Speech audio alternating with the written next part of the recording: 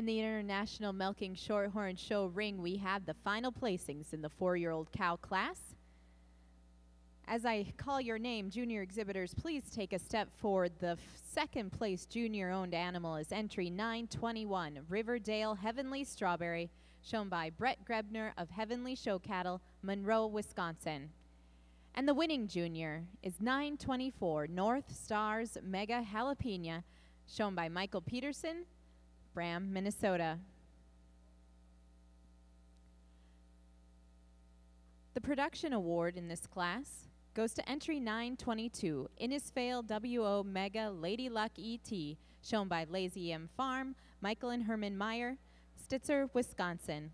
At three years, one month of age, 305 days, she produced 24,814 pounds of milk with 3.6% fat, 894 pounds of fat, 2.9% protein, and 714 pounds of protein.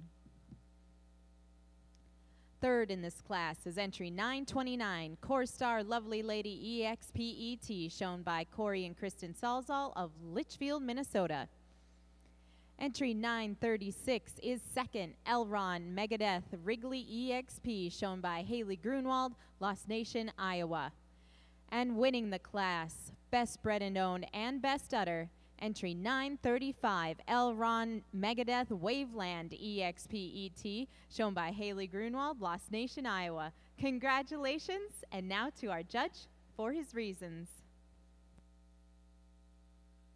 Wow, what a terrific class of four-year-olds we have here. If you uh, milk cows at home, you'd appreciate every one of these cows. Just a great group of cows all the way down the line.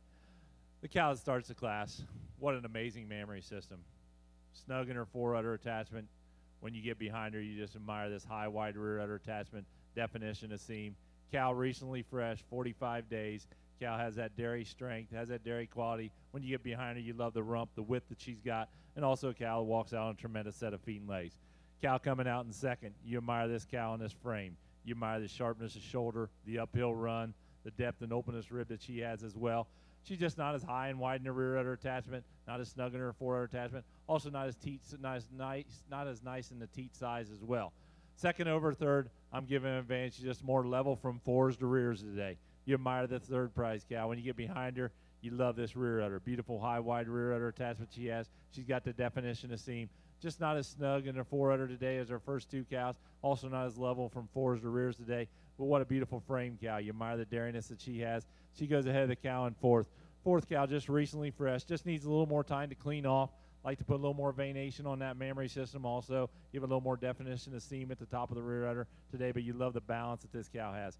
She goes ahead of the cow in fifth on that balance from end to end. Gives me a little more drop to her rear flank. She's also got a little more height and width at the top of the rear today than a real stylish cow coming out in fifth. You admire this fifth place cow from the side. You just love this cow. You get behind her, just like to see a little more definition seam to get her any higher in the class. Give her a little more height at the top of the rear today. She goes ahead of the cow in six on that mammary system today. You admire the six prize cow, beautiful dairy cow. Just don't have the snugness attachments today to get her any higher in the class, but a nice group of cows all the way down.